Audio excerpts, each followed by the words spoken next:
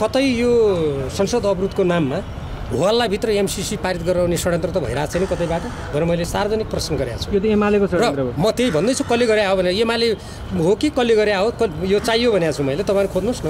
अनि त्यसपछि के भयो त भन्दाखेरि मैले अर्को कुरा के भनेको छु भने यत्रो महत्त्वपूर्ण राष्ट्रिय विषयमा नेपाली जनताबाट निर्वाचित हामी जनप्रतिनिधिहरूले एमसिसीका ती दफाहरू त्यहाँ राख्न त पाउनु पऱ्यो नि।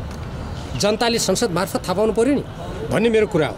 होइन अवरोध नै गर्ने हो भने अहिले पनि देख्नुभयो सरकारको एउटा प्रस्ताव त्यो पारित भयो। त्यो त संवेदना प्रस्ताव भयो त्यसमा मेरो समर्थन नै छ। तर कतिपय यहाँभन्दा अगाडि यहाँहरूले देख्नुभयो नि नेपाल सरकारका कतिपय कुराहरू खुरखुरु पारित भएर जाने।